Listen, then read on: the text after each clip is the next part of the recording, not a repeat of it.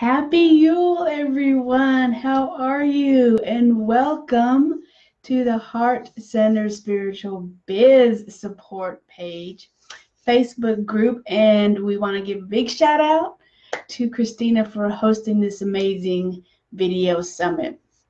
I'm just going to pop on, make sure we are good to go while people come in takes a little bit of time for people to get notified that I am live in the group. So,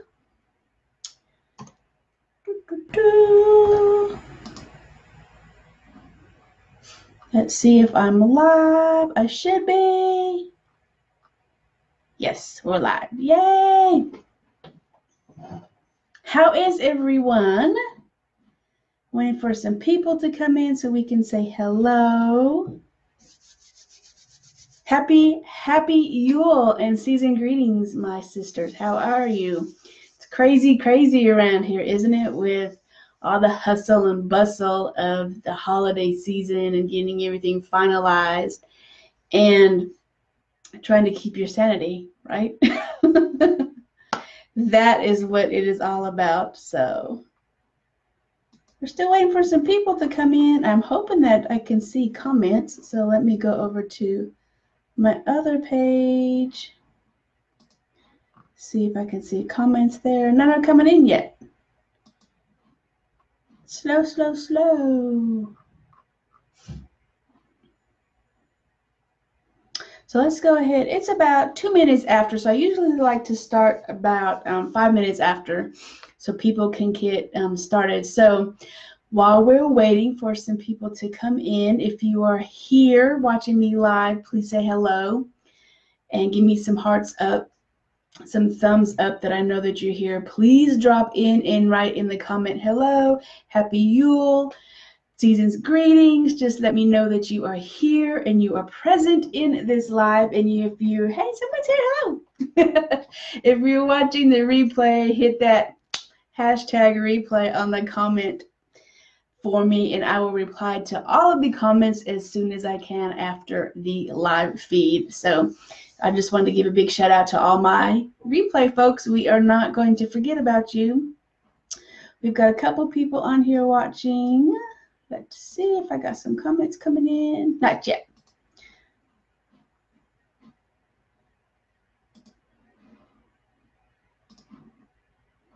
So let's go ahead and get started. Hopefully some people will come on in. I have my notes down here, so if I'm looking down here, I apologize. Um, all of my notes are on my computer, so. Hey, there she is. We got someone to say hello and give me a thumbs up. Hello, Marissa. And some hearts. They're starting to come in. It takes them a little while. Facebook is a little bit slow. Facebook's a little bit slow. So um, let me introduce myself to you because you probably may be new to the Heart Centered group or you may be new to me. My name is um, Susie, aka Madame Zee, and I am a female empowerment leader. And I coach newbie witches out of the broom closet and I help them along their way of their witchy path. I teach metaphysical classes. I'm a female empowerment leader, a leader, a moon circle leader, a high priestess, a master tarot counselor. I do all kinds of magical and witchy stuff. So, and a magical life coach. Anything that has to do with witchiness, I'm your chick. I'm it. I'm it for you guys. If you have any witchy questions, please, please call on me. if you consider yourself a witch or a pagan or eclectic or something different that is connected to the earth based, please let me know in the comments. And I pour my heart out to you, sisters, and welcome, sisters, as we talk about Yule. Does anybody here practice Yule, or am I the only one? Oh, we got comments on the others one. Okay. So hello, Angela. Hello, Marissa. Oh, thank you, Marissa. I usually try to wear a headdress or some kind of head thing during these um, live videos because I just love them so much. so my comments are showing up on my other page. So Um, let's talk a little bit about Yule celebrations and the traditional Yule practices that go on for our ancient um, ancestors versus how we can bring that into our modern day practice, our modern day witch practice, and how we want to honor them, but we don't have time to cut down a huge Yule log and burn it in the fireplace. So we're going to kind of like condense it and modernize. Ah, Tanya. And modernize um, the practice without losing the magic of it all. So let's start off with talking about what Yule is. And if anybody has drink, drink up. Yay.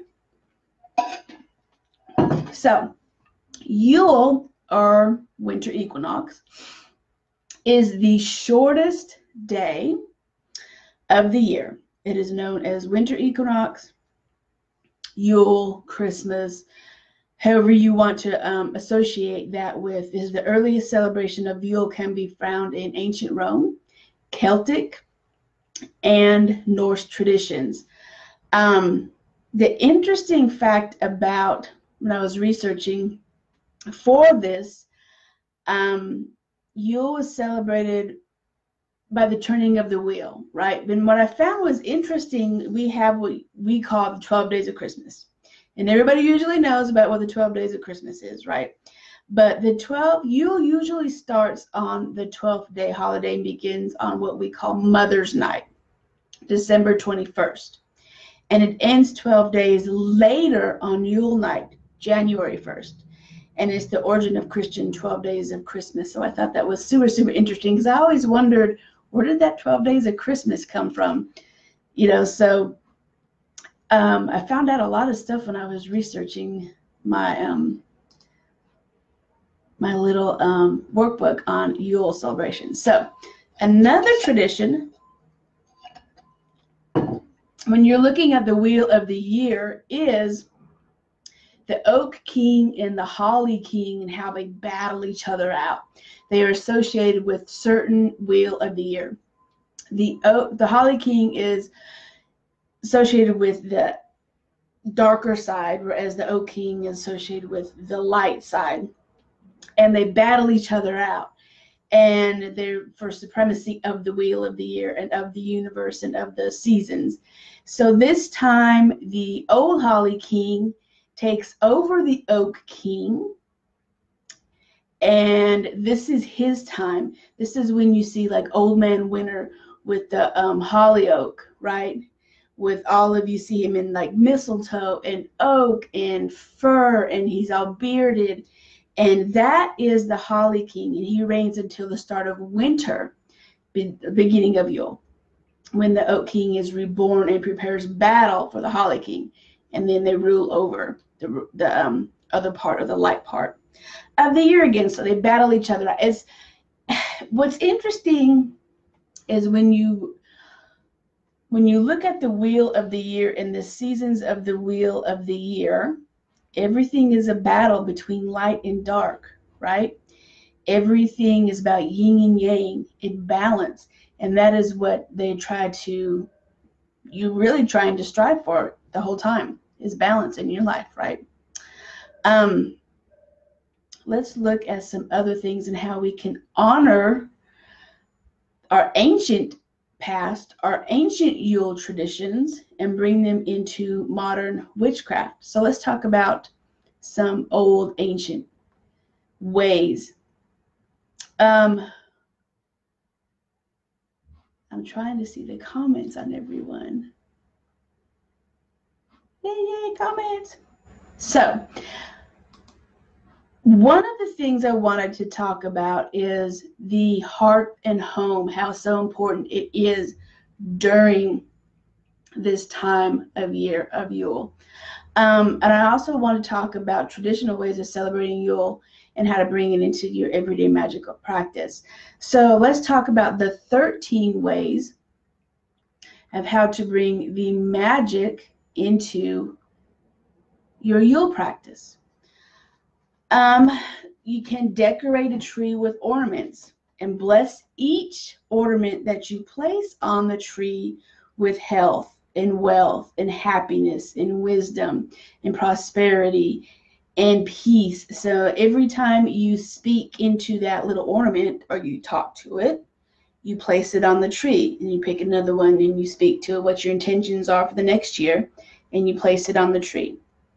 Um, another one is hanging evergreens or wreaths around your house and we'll talk about what the traditions were, what they meant when you had holly, when you had wreaths, when you had evergreens. So we'll talk about more of the traditional stuff. Um, you can also bring a small Yule log. You can buy them. You can make them. You can, um, I think I've had mine actually, I got mine from Michael's because you can go to Michael's and they have those logs. And I just took a little drill and drilled out three holes, put the candles in there and put some holly in there and some red berries and evergreens, and that's my Yule log. And it sits on my table. Or you can put it on the mantle.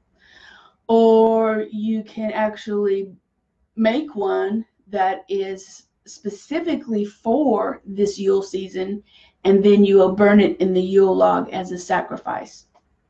So um, either way, I keep mine every year and I just pack it up and bring it out every year.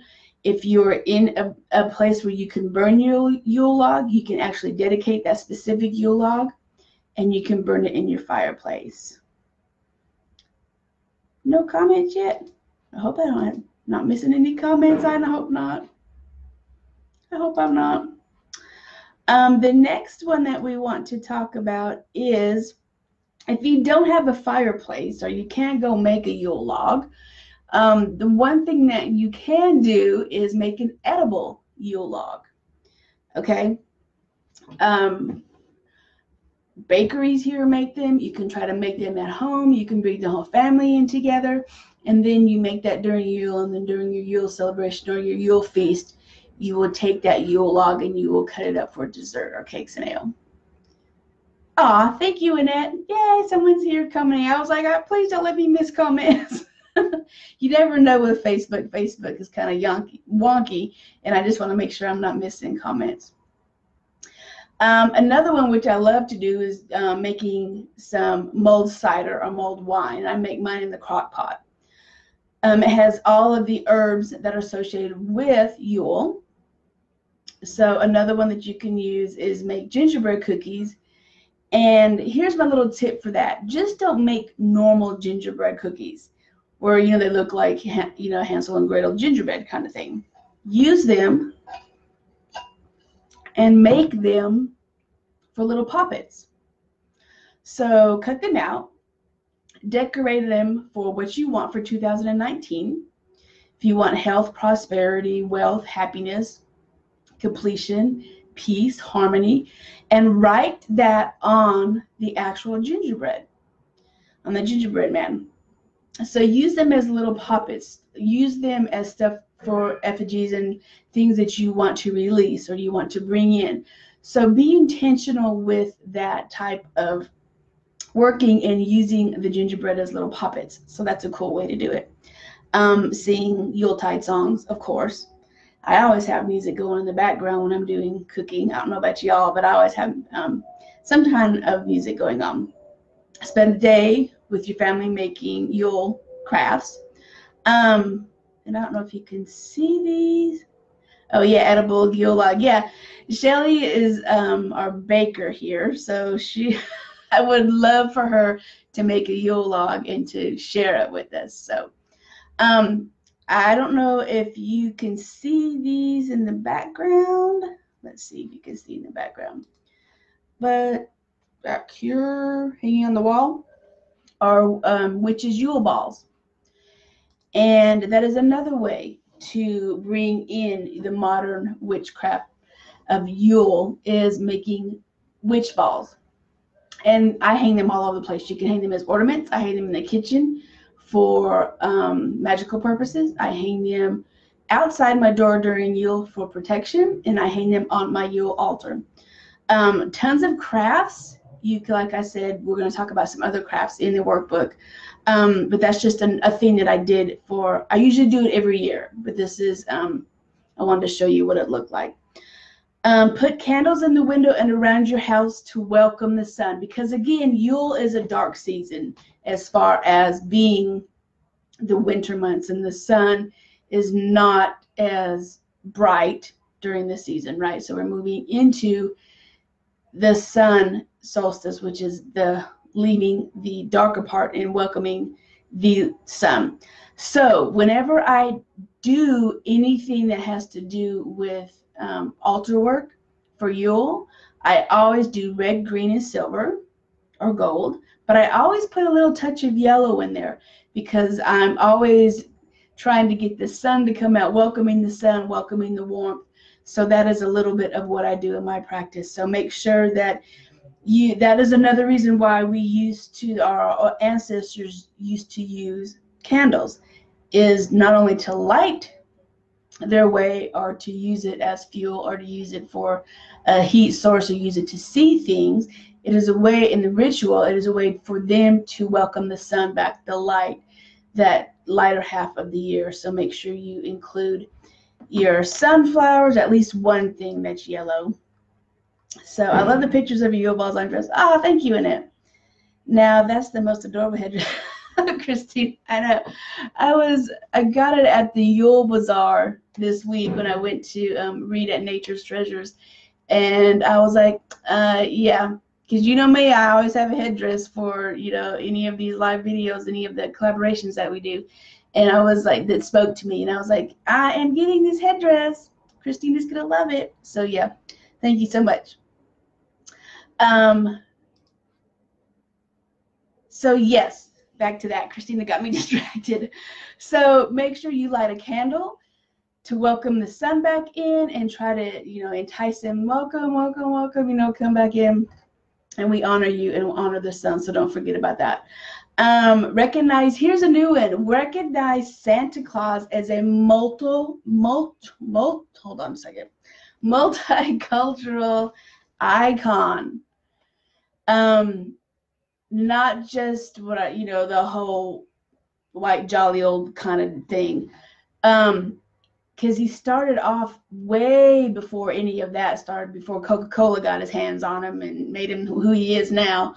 Um, recognize him and do some research on how other heritages celebrate him, how other ethnicities celebrate him, and bring them into their practice and what it means to them because he's across the board on all kinds of paths. It's not just Christian. So honor him as something that is multicultural and use him as you doing some research on how he is celebrated in different cultures. Okay.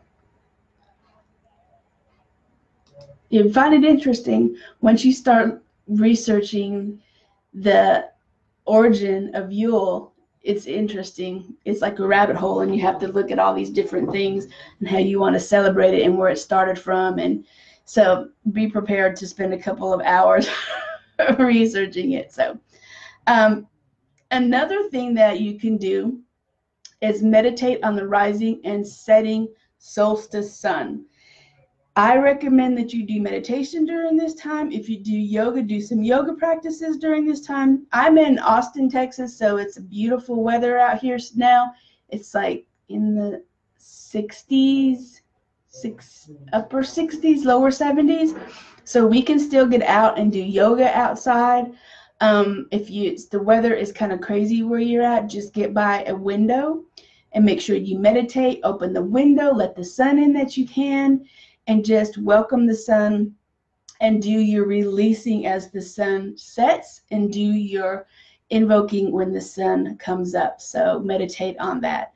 Um, join others in a Yule ritual. This is huge. If you want to get out and start connecting with other pagans or earth based, or you're just not even that, maybe you're just kind of curious of what happens in a Yule because you'll you'll be surprised what ritual really is. It's not what you see on TV. It's not any of the horror films. It is a beautiful experience where you get connected with what's going on with Mother Nature and giving thanks. My practice is huge on giving thanks and connecting with the cycles. So look for a earth-based religious type of circle group in your area and join their Yule ritual. We are very welcoming, very understanding, very nice. we are, you know, I did a whole thing on what, you know, witches are supposed to be and what they're the myths of it and it's not what you think it is. So I invite you to just really expand your knowledge and check out a local Yule ritual. Um, and this is a big one too. Contribute to charity that is near and dear to your heart because don't forget, it is the season of giving. Oh, Krampus movie brother. I know we're going to talk about him. They have a, a Krampus um, market and they also have a Krampus parade. So, yeah, Krampus is another one we're going to talk about. Hey, Caitlin, welcome. It's okay. You're late. You're always on time. You are on time for yourself. So, um, cool, cool stuff. And we're going to talk about that. We're going to talk about a little bit what, how they de- depict the devil, where it came from, what it really means, that kind of thing. It's not what you think it is. I promise you it's not. So, those are some ways that you can bring in some of the modern Yule practices into your modern kind of practice, right? Um, with honoring your ancestor work. So, um, let's talk a little bit about the history of stuff. What happened? Where, where did it come from? Um, we're going to talk about the Yule log, mistletoe, that kind of stuff. So, just grab some drinks and some pins and hang out for a little bit. But don't, you know, don't worry if um, this is all in the PDF that I'm going to be giving you. So ask questions if you need to. I'll be glad to answer them. And let's just sit and talk about what Yule really is and knock out some of the, the myths of what Yule really is. Um, let me catch up on comments. Okay, we're good. So um, the Yule log tradition goes back to way before like the medieval times and Norse traditions. It was traditionally like a whole tree. So what they would do, and it was a big ceremony. It was big, huge. And I and I used to do this when I was a kid in a family. When I was a kid in my family. We would go out to this big, huge Christmas farm, and it was a big deal. And we would go find our Christmas tree, cut it down, and bring it back. Spend all day putting it up cussing and carrying on because the tree is always too big, right? My dad's probably sitting there drinking, cutting off all the, you know, the bottom of it, trying to make it even and, you know, all that kind of stuff. So it was a big deal. But it stems from back in the medieval times. Um, they would pick the largest part, the largest tree, and bring it back to their hearth. And it was huge tree. So the trunk would be sitting in the hearth while the other half of the tree was probably outside of the door. And it was hung in um, the common room and the living room. So it took up the whole living room and outside even. And then they would light the log and it would burn day and night. And they would start slowly shoving in the burnt part and bringing in the new growth. And so every day they would move closer and closer and closer. Now, um, the log was lit from the previous log, which was saved for that reason. So it was slowly burned and fed into the hearth over the next 12 days of Christmas. And so they always kept a little bit of the embers and a little bit of the log from the previous year in order to light the current year's Yule log. So that's where it started. Um, so now that's that's why we have the Yule log. Now we're like, well, I can't buy a whole new, go cut down a whole tree and have it hanging out in my my living room, and you know, we don't have that have to do that anymore. Thank God we have you know heat and um, gas for that. But that's what they used to do to keep their hearth and their house warm is they would burn that huge tree day in and day night for 24 hours. And um, that is some of the practices. I have I've had a real tree twice, and I live in Wyoming. I know that's what we used to do. We used because Caitlin and I from Wyoming. We lived in Wyoming for many years. So yes, we used to go out there in Wyoming and um, cut down the tree. So instead of doing that, go make a freaking Yule log, right? Or go buy one, a little bitty one like this big at Michael's and make your own and put it on the hearth. So we can do things for Yule that honor the past traditions, but it doesn't have to be so elaborate anymore because we don't have to have that. So, and let's talk about the Yule tree. We can't talk about Christmas and Yule without having the Yule tree too. There's so many Yule trees tradition that stem from the Celtic, the Norse, the Germanic paths.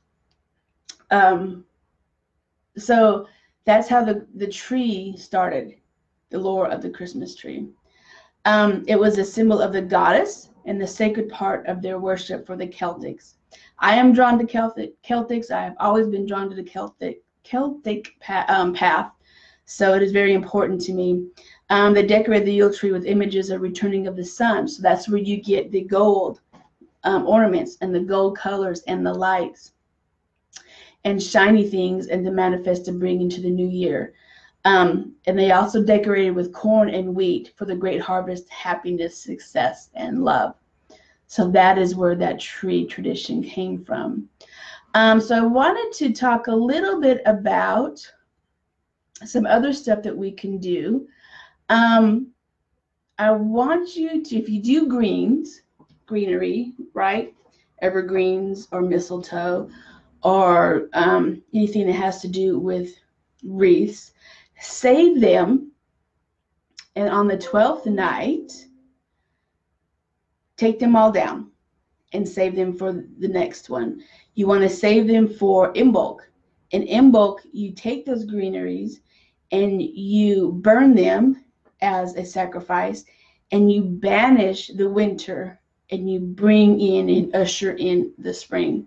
So don't get rid of your greenery. Don't get rid of any um, of your wreaths that are natural. Of course, don't do this if it's artificial.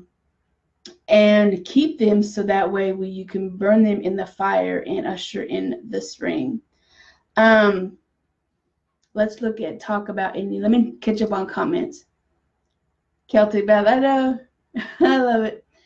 It's so interesting. Um, mistletoe. Mistletoe is huge. So let's talk a little bit about the myths of mistletoe. I found this super interesting because I know it was always magical. But um, the history and the folklore of mistletoe started with way, way back. So you're looking at Roman time. Okay. Um, it was actually started kissing under the mistletoe tradition, started for the Roman festival of Santa Maria. It took place under the Christmas, of course. And um, it was banned. It was funny though, because when Christianity come in, it was banned because it would had to do with love and lust and prosperity and abundance and protection and you know that kind of heathen kind of stuff i guess. And so the christians didn't like it so they kind of banned mistletoe. You couldn't do the you couldn't have mistletoe. And they say in some churches now they still in catholic churches they still ban mistletoe. You're not allowed to have mistletoe and bring that in. Um, it was hung by in the home um, let me see. And also, it was hung in the home for protection and for happiness and love and to sure, ensure good luck and fertility. And I found this interesting too that it was for magical purposes and um, folklore. It was supposed to protect you from disease, lightning, werewolves.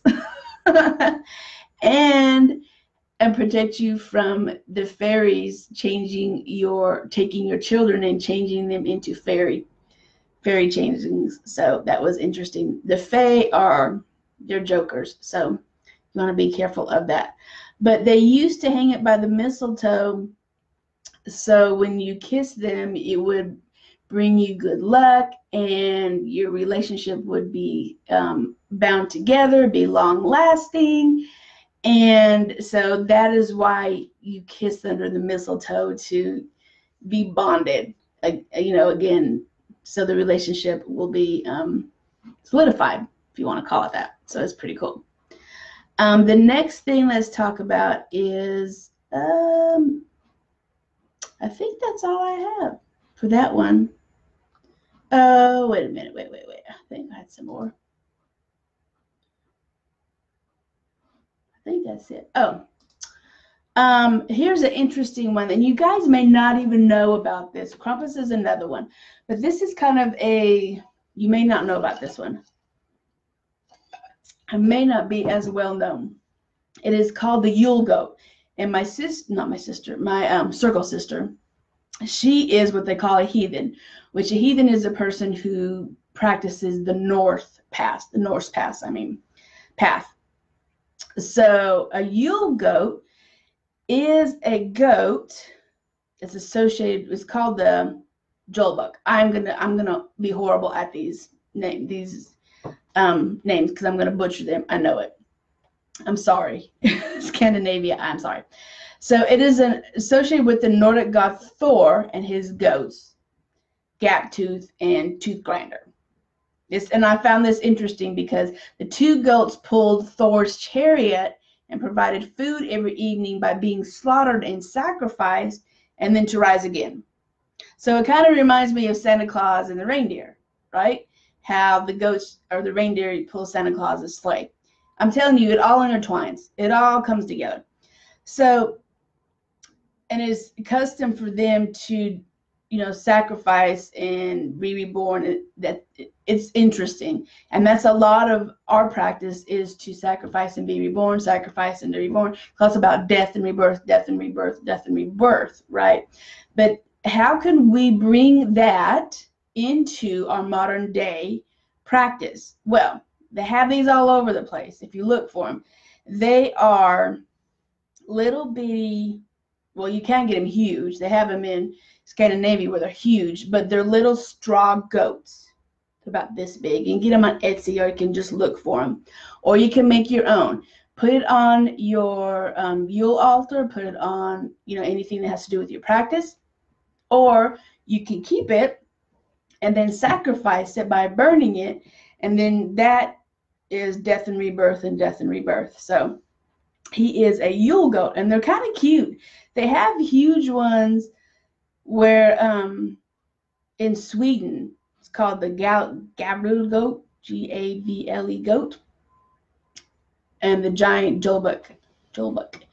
And they're huge. They're kind of cute, but they're made out of straw, and then they'll burn them for, to sacrifice them. So, if you're into the Norse, or you want to bring in Norse some more Norse traditions, that is another way of bringing that in. Um, so that's pretty cool. Now, we'll talk about some of the herbs. Well, let's talk, okay, so let's talk a little bit about Krampus, okay? Krampus gets a bad rap. I love Krampus. He's hilarious. And as far as you're like, why is he hilarious? He looks like the devil. He's horrible. But he's not really. He's more of like a threat to like bad children. He's like the counterpart to Santa Claus being good right? He'll round up all the bad children and threaten to kill them and threaten to be like, if you're not good, then I'm going to snatch you up and take you from away from your parents, kind of thing. So it's kind of this folklore of him going around snatching up kids because they were bad. And it's all about trying to threaten your kids to be behave themselves, is what it is. And it's just a counterpart to Santa Claus. so Santa Claus is doing good. And you know, if you have good, you have to have evil, right? It's the whole balance thing. So Krampus is the evil part, well, if you want to call him evil, of Santa Claus, because he wants to make sure that if you your children don't behave, then he'll snatch them up and this whole thing. So it's a big thing. It's you know huge here, especially in the Norse practice. Krampus is amazing. They do all kinds of parade. They get down with it. So that is another one. So if you want to bring more of that into it, your practice, they have all kinds of Krampus ornaments, um, pins, statues. Look at that and bring that into your practice. So I like him too. He's pretty cool. Um, so let's look at some of the correspondences that are associated with Yule. Let me stop for comments. Does anybody have any comments yet? Just running long? No, we're good. We're good, I think. We're almost done. Yeah, PDF. PDF will come later. You'll get all this in the PDF and more. And all kinds of cool stuff. I don't see any more comments, so I think we're good. I think we're caught up on comments. So, things that are associated with Yule. Let's talk about the herbs. We're going to go kind of fast. So don't feel like you have to write this down if you if you don't have a pen and paper because it'll be in your PDF. So no worries. Um, your herbs are of course your mistletoe, your evergreen, your holly, your cedar, ash. Ash is supposed to be good luck, right? Bay, blessed thistle, chamomile, frankincense, juniper, and pine. Pretty much all your trees, right? Because it has um, it has a tradition of bringing in and honoring the Celtic tree. So anything that has to do usually about your tree, any tree, it will be your correspondence of that. Your gemstones are going to be your clear quartz, jet, ruby, diamonds, garnets, which is going to be um, like your reds in white, in green colors, alexandrite, kunzite, kunzite, sorry, citrine. Citrine brings in the sun. Remember I said you have to remember to honor the sun and try to get him back. So anything that has to do with sun or orange or yellow is going to be associated with the sun. Green tourmaline, blue topaz, pearls, which has to do with ice and snow, and orange calcite, which is the sun, and then ametrine. Um, so let's talk about the archetypes, right? So who is associated with Yule? What person, what male and female is a so and deities are associated with Yule. So it is, of course, the old wise woman. The crone, any goddess in the crone stage is going to be the female archetype for Yule. The Holy Mother, the um, she's a German hag, so you might want to look her up um, and Urug. I'm sorry, Ur, Ur, I don't even know how to say that. The Celtic goddess and wife of Lugh.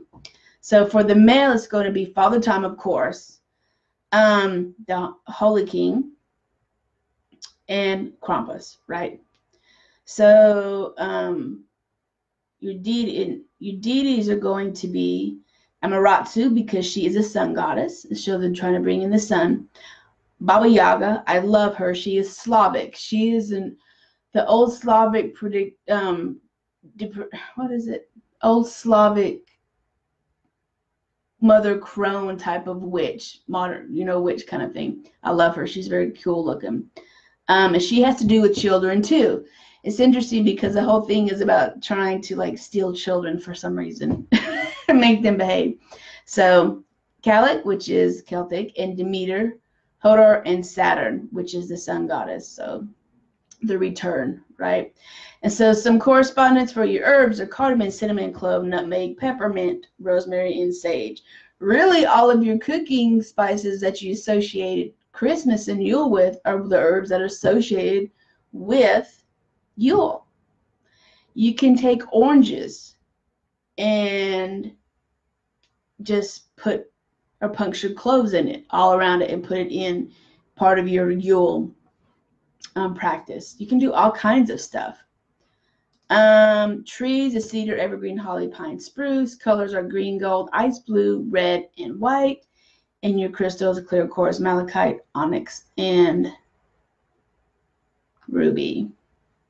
So your metals are going to be gold and lead, though, because gold is prosperity and the sun. Um, your animals are going to be your bear, crow, or oxen, right?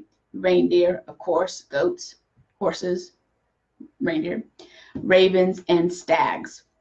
Your symbols are going to be your cauldron, the darkness, the evergreens, the light, because we're bringing in light, trees, wreaths, and Yule, Yule logs. Now, let's talk about tarot. So, what tarot cards, for all you tarot lovers out there, which is I am, um, what tarot cards are associated with Yule.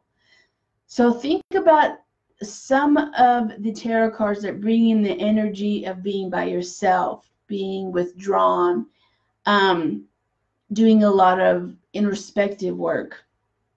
Um, so it's going to be the Hermit, the Magician, Pentacles, because Pentacles has to do with your body and how grounded you are, and the world, because we're at a complete cycle almost. We're going to start over in January. So those are the tarot cards. And you can always do a tarot spell for the new year with any of these cards. So um, I've got some Yule recipes in this PDF for you. I've got all kinds of Yule craft stuff in here. So this is a wonderful PDF for you to keep that I am gifting you. Christina, I've been dousing everything with cinnamon and orange. Yes. so my house, um, I do a lot of essential oils. So my house always smell, smells like Christmas cheer or Yuletide and um, trees. It's just what it is. So um, let me pop in the PDF so you can get all of this cool stuff and I'll pop it in here for you. And I will try to pop it in here. I'm not sure if I can. But this PDF is a wonderful way to get started on your Yule practice. It's a great time. You still have time to go make some stuff, to go get stuff to make your wassail, which is a recipe in here. Your gingerbread recipe is in here. Your Yule crafts um, are going to be in here. All your correspondence are in here. Oh, thank you, Christina. And um, so this is a wonderful PDF to get started on your Yule practice.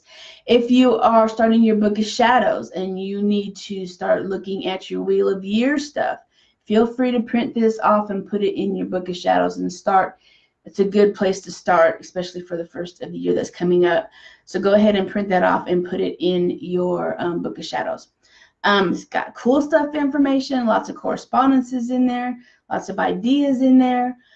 Um, so like i said just hop on over there grab it print it out keep it by you so that way you can put it in your yule um, book of shadows section and then get started on doing some of this stuff. It's super easy to honor the past Yule traditions and bring them forward into the modern day witchcraft practice. Don't let that stop you from being more magical in your practice. Honor your ancestors, honor where it came from, but it doesn't necessarily mean we have to go cut down a whole doggone tree. By the way, if you go cut down a tree, make sure it is farmed ethically if you want to call it that but make sure that when you take that tree you bring an offering with you and you set an offering in the place where you took that tree and thank that tree for giving you that life so you can bring some of that cheer and yuletide celebration into your world it is all about um, responsibility it's all about respect it's all about giving back and giving thanks and you do not take unless you give. And that is my spill about Christmas trees. So make sure that you are cutting down your Christmas tree from a farm that plants two or three different trees for one tree that is taken. So that's just my soapbox thing. So I think that's it. Does anybody have any other questions before I go? I hope you enjoy that Yule workbook that I worked for and put up there for you. It's got all kinds of juicy, cool information in it. And like I said, if you have a question, send me a message hop on over to my Witchy School of Wisdom group. I am always available to answer any questions that you have, or if you're stuck in a practice, I'm here to coach you through it. I'm here to walk you through any you know hiccups that you have during your practice. So I think that's it for now. And thank you, Christina, again for hosting such a wonderful video summit. And I really enjoyed talking to you guys and sharing what I do and some of my Yule practice. All right, and if you have any other questions, please send me I am. I will be here for you. Oh, thank you. You're welcome, Erin. And I will be here for you. If you have any questions, just shoot me a message. And happy Yule. Happy Yule, everyone. All right. Bye, friends.